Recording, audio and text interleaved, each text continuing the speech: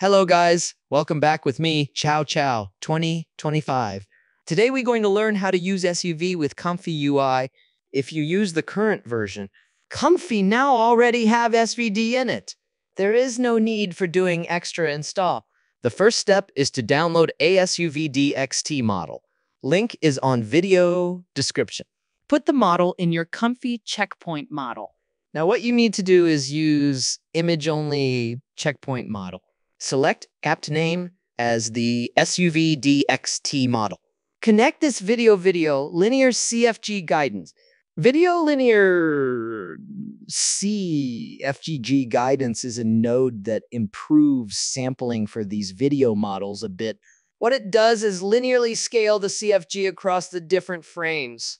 You also need load image for the image that you're going to animate. Then connect the image and model to SVD IMG2 vid conditioning. Video frames is the number of video frames to generate. You could use 14 or 25 frames for SVD XT.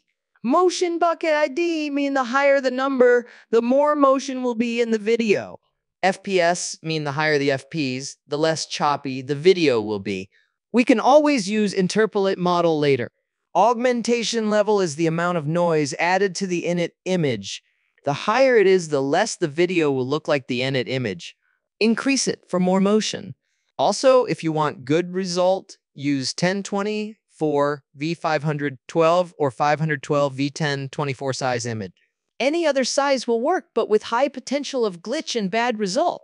After that, connect SVD, IMG2 vid conditioning, and video linear CFG guidance to K-Sampler. K-Sampler will produce the list of image. Connect the result to VAE decode. From VAE decode, connect it to video, combine from AnimateDiff evolve. If you don't have one, use save animated WEBP. Of course, you could always download the node. Of course, you can always interpolate it to get a better frame rate. Here are an example of twice the frame rate. To learn more about interpolate, check interpolate video link in video description.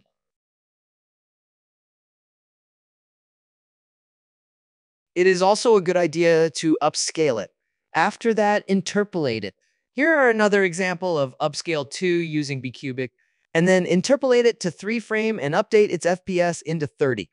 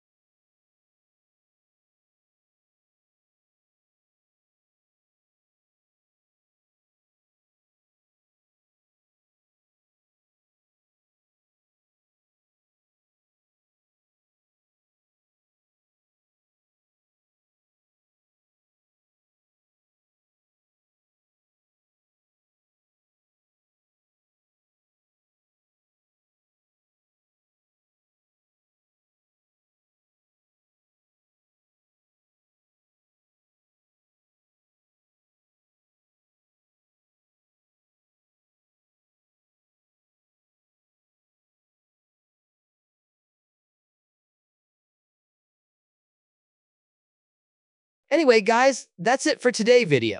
Thank you for watching. Don't forget to like, share, and comment.